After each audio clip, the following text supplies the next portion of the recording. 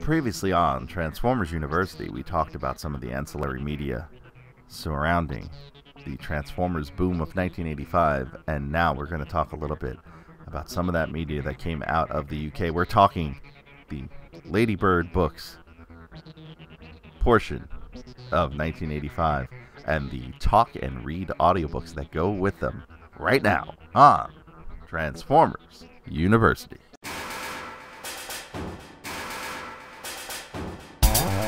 Hello, my friend, and welcome to episode 38 of Transformers University. I am your host, Anthony Brucali, and I want to thank you for waiting out the delay uh, between this episode and the previous episode. Uh, uh, if you're unaware, if you are not following TFU.info on social media, particularly on Twitter at TFU underscore info, uh, then you don't know that just recently uh, I became a dad for the first time. So uh, I have welcomed my daughter into the world, Cassidy, uh, and my wife and I love her very much. And that is why uh, this episode and probably the next few episodes might take a little longer to get to your ears.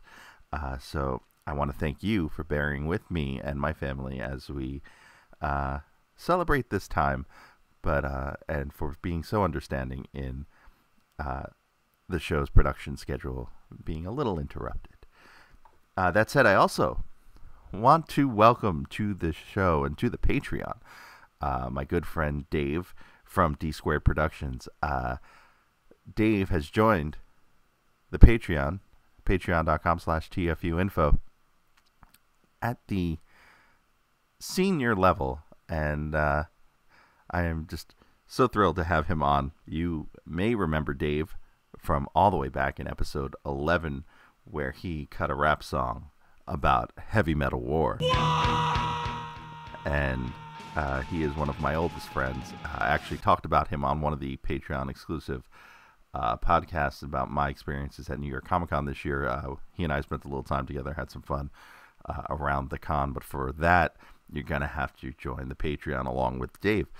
Um, but enough housekeeping. We are going to get into some history today.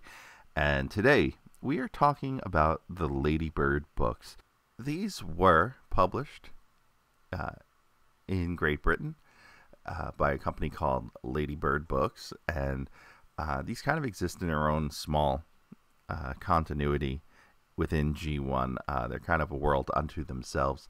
And uh, they were published from 1985 through 1988 and they are certainly a unique take on the Transformers now. They're not so far out there as the kids stuff recordings we did way back in episode 25. Uh, but they do have their unique moments. Uh, they feature art uh, and they feature words. And there are actually recorded audio versions of these that you can find on YouTube on a channel called Retro Robot Radio. Uh, and I use those to uh, hunt these down and kind of read along with them. Uh, and I think you'll appreciate some of this as well. Now, that these were written by an author, children's author named John Grant, uh, Scottish children's author, famous for the series Littlenose. Um, and he passed away a few years ago. I actually had to update his TF Wiki entry uh, for that. Uh, also, art by Marvel UK artists uh, Mike Collins, you may know a little bit better from episode 16 when we talked about the second half of Man of Iron uh, inks by Mark Farmer. Mark Farmer, I'm ready. And we're going to talk about the first book, Autobots Lightning Strike. Now, before we get into the book, uh, all of these audio versions feature an introduction basically explaining the Autobots' crash on Earth and another new version of the Transformers theme song. And this one's another synth version. And here, give it a listen.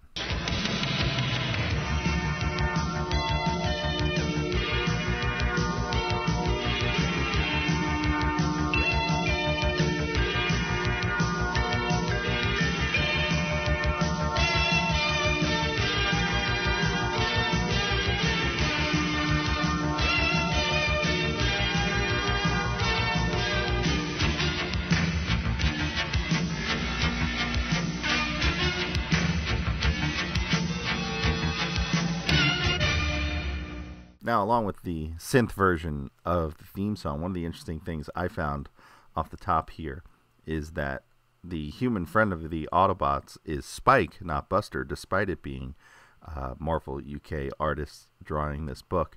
Uh, he is a young engineer, and just like in the original cartoon miniseries, he does keep a journal. We also have Spike's father throughout these books, and he is referred to as Spike's father the entire time, not as Sparkplug, though I may switch back and forth and call him Sparkplug by accident. So just a heads up there. Uh, the Autobots in this story uh, are freaked out by a lightning storm. Uh, these things are apparently unknown on Cybertron. Who knew? Um, and if that's the case, then where does Thundercracker get his name from? Because that makes no sense. Uh, and I'm pretty sure Thundercracker does not appear in at least these handful of books that we're talking about. But uh, if he does, I've just completely forgotten. Um, in the story, Spike's father teaches the uh, dangers of lightning to the Autobots, and then uh, the Autobots still looking to build a ship to go home. So Optimus Prime enlists Huffer to catch some lightning. As usual, Huffer complained. Lightning? He muttered. Catch it? You want it put in a cage, I suppose? So, interesting thing in this part of the story as Huffer is trying to uh, ride the lightning, there's a page that's miscolored in the printing process, and Huffer is uh, color flipped from orange and blue to blue with orange, and Gears is a green olive kind of color and brown instead of his red and blue. So Huffer builds this device, the Lightning Collector. And of course, Laserbeak is spying and reports back to the Decepticons. And there's some very odd voices here. I make the decisions. Snapped Megatron. Soundwave, Laserbeak will lead you to the place. Keep a listening watch. This creation of theirs may be very useful to us.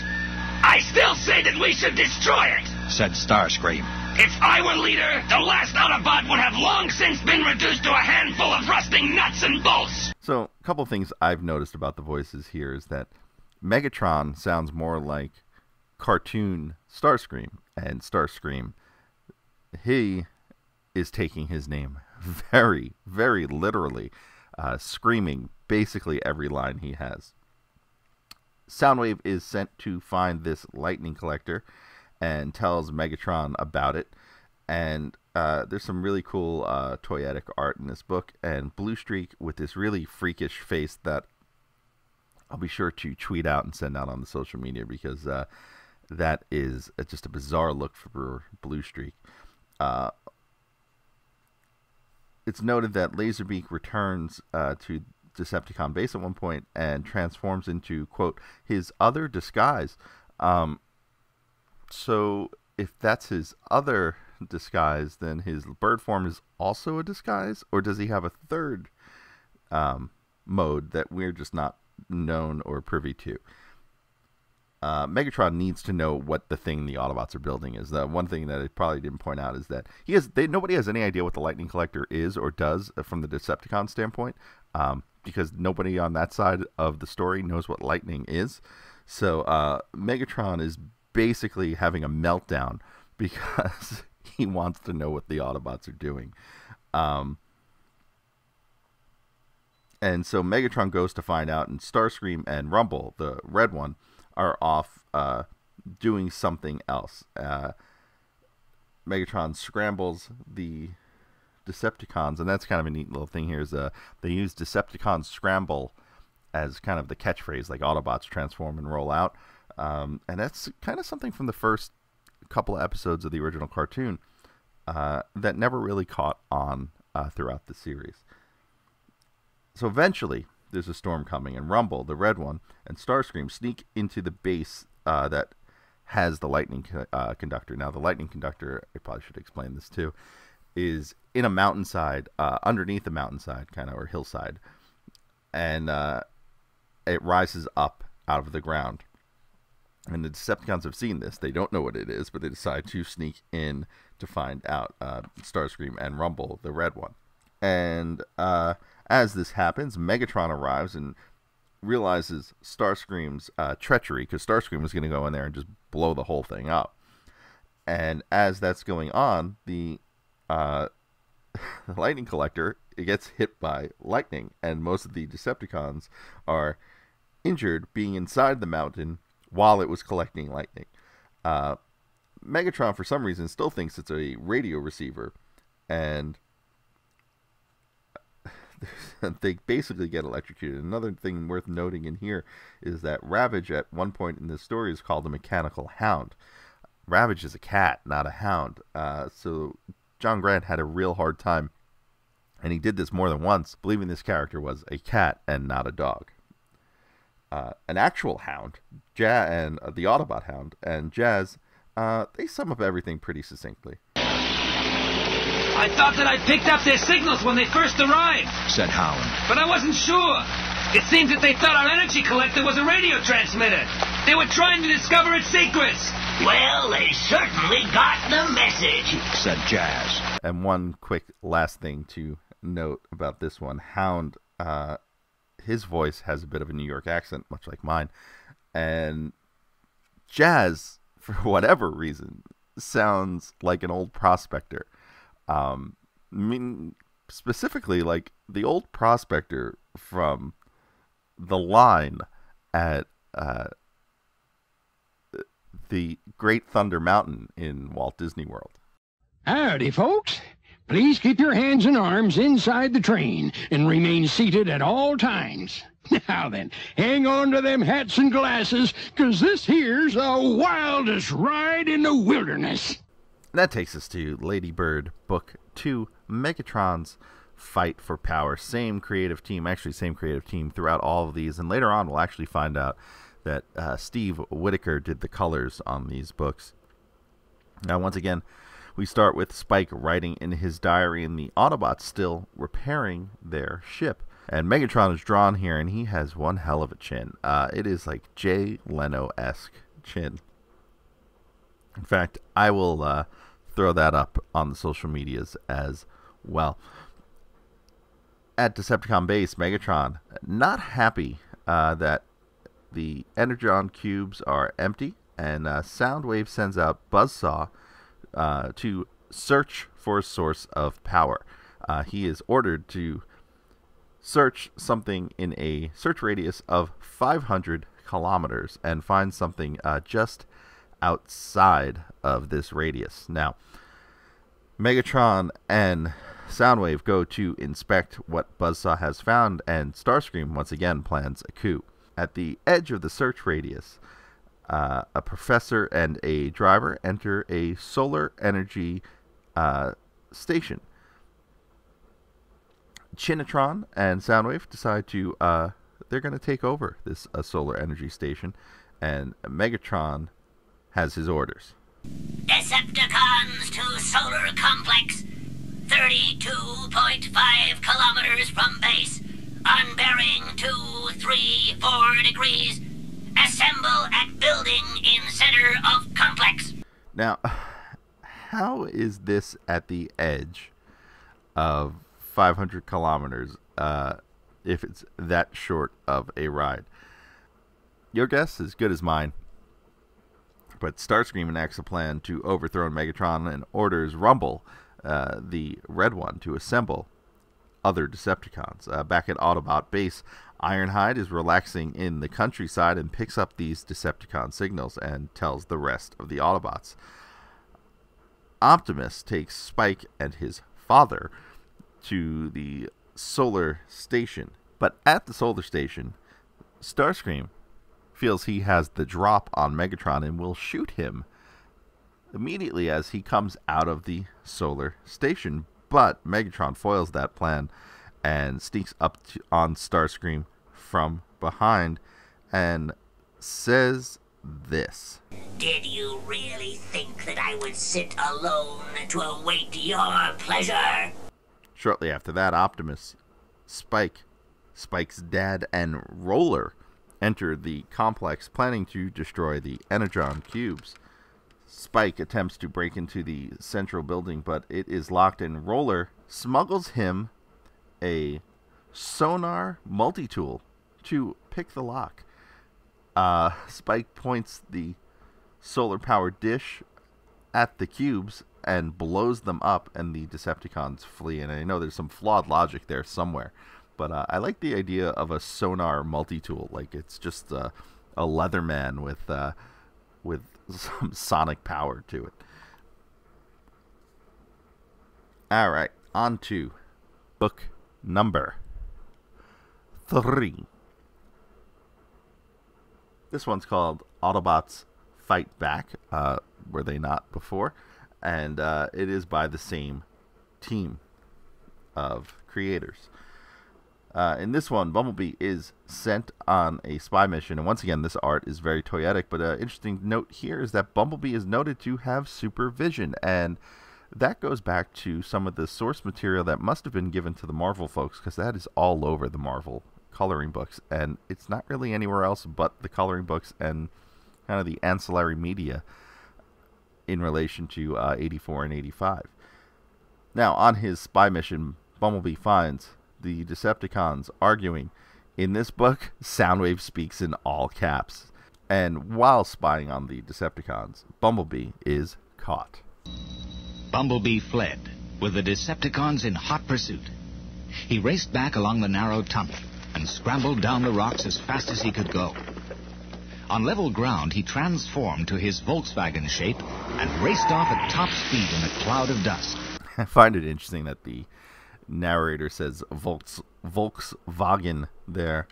From there, the Decepticons decide to, quote, activate Ravage, and he has quite the weird sounds coming out of him.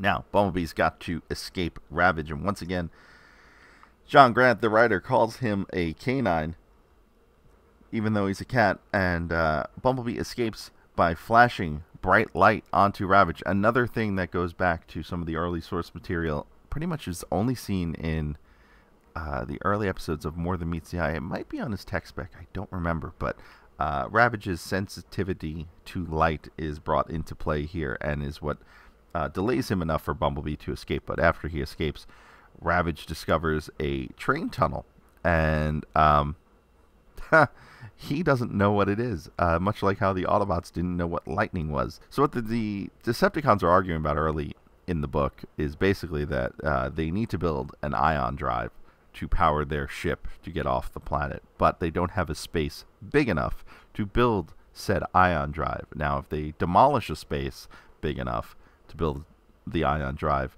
they will burn through all the energon cubes that they have, which they need to power the ion drive. Uh, it turns out this tunnel that Ravage discovers is actually a good place to build an ion drive. So uh, they do, and the Decepticons check it out, and Soundwave believes that the tracks that uh, feed into this cave are some sort of crude, uh, quote, energy conductor system.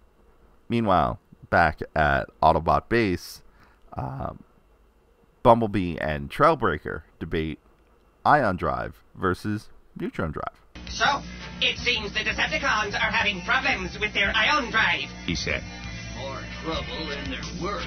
said Trailbreaker. Give me good old-fashioned neutron drive every time.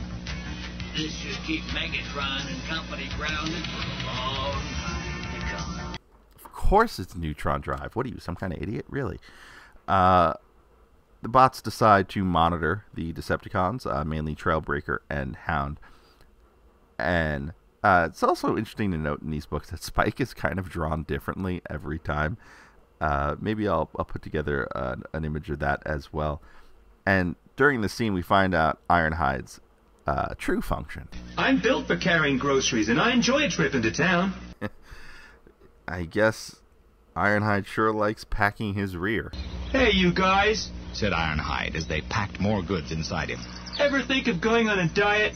It would do you good, and it would sure take some of the strain off my suspension. So, the Autobots use a car rally in Oregon to sneak up on this Decepticon construction uh, initiative, uh, if you will call it that. And Jazz will be the one to enter this race.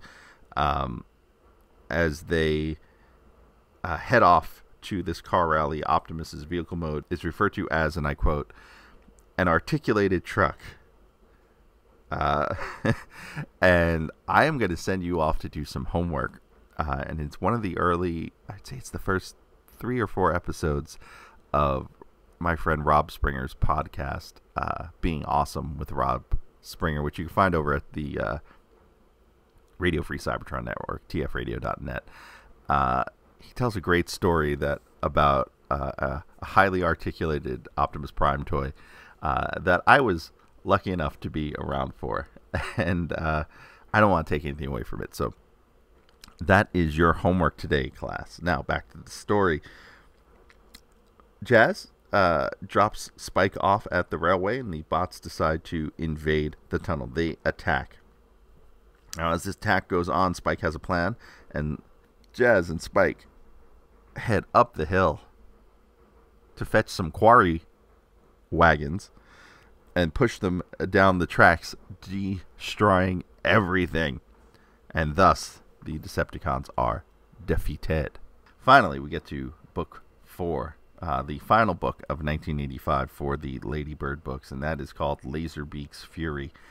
Uh, and this is the one where we find out that Steve Whitaker is the colorist. I'm going to say he's been the colorist all along. Uh, I don't know how true that is, though. But given the rest of the team has been consistent throughout, I would guess that Steve Whitaker, uh, being a Marvel UK colorist, was probably the colorist on this as well. Once again, Megatron, he wants some power. Uh, and he plans to use the humans against the Autobots. And Starscream in this story has a new voice.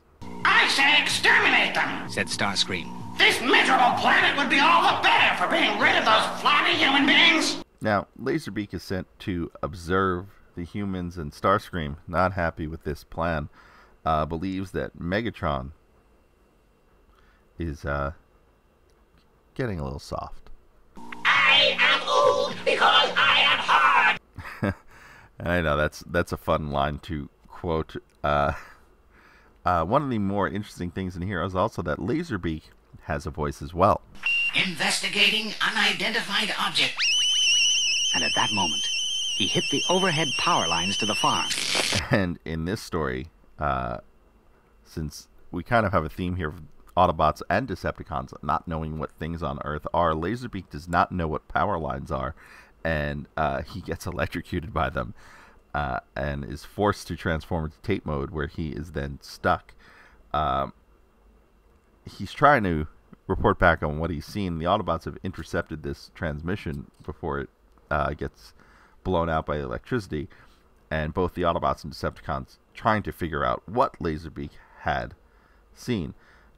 Uh, the farmer's kid finds Laserbeak, and uh, the kid's mom puts the tape in the car for the village dance. Hound and Spike, they meet up at a windmill, uh, which is what Laserbeak saw. He saw a windmill, and Optimus forms a battle unit, including Cliffjumper, in yellow. This is possibly the only fictional appearance of the yellow Cliffjumper toy.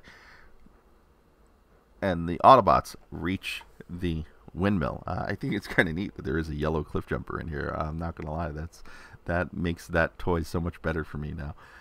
Um, at the village dance, the DJ, of course, he accidentally inserts Laserbeak into the cassette deck, and uh, we get some awesome art as this actually awakens Laserbeak. Uh, he doesn't actually play anything out of the speakers but static, but uh, uh, you get this great shadowy version of Laserbeak rising up over a disco dance floor, and it's, it's pretty epic. Uh, another thing I will tweet out when I can.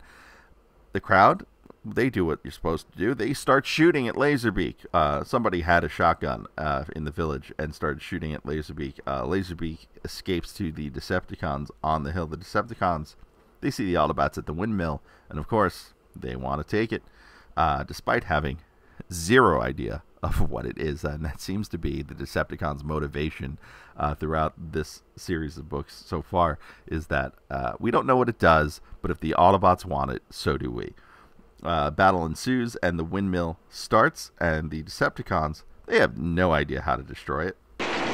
Stop that thing! Screamed Megatron. Starscream knelt and aimed the null ray projector at the mill. The mill glowed with blue light as the ray hit it, but the machinery rumbled on, and the damaged sails still swung round and round in the moonlight. Impossible! cried Starscream. There is no machine which can withstand the null ray! So Soundwave decides to eject Rumble, the red one, to destroy the mill. The mill falls on the Decepticons, and the Autobots win. Uh, and that is the end of Laserbeak's Fury. And that will wrap up this episode of Transformers University. Once again, if you want to support the show, you want to help us out, there's so many ways you can do it. I told you before about the Patreon, patreon.com slash TFUinfo. I won't tell you anymore, but uh, if you'd like to help out the show in another way, tfu.info slash Amazon. That'll take you to Amazon.com, and anything you buy from there on out, uh, Amazon kicks back a few bucks to the show. Of course, you can catch us on Twitter at TFU underscore info and on Facebook, facebook.com slash TFUinfo, Instagram.com slash TFUinfo, and of course, the YouTube channel, youtube.com slash TFUinfo. Please, if you're not already subscribed to the YouTube channel, if you got a Gmail address, it's all you need. Uh, swing on by, sign in, and just click subscribe. Uh, be a huge help to me and to this show, and I will appreciate you for a very long time. Next time on the show, we are getting back into G1 Season 2. Yes, it is a long season. We're only going to talk about four episodes this time around, plus one other thing you may not know existed, and you'll have to just wait until the next episode to find out what I am talking about. Until next time, see you.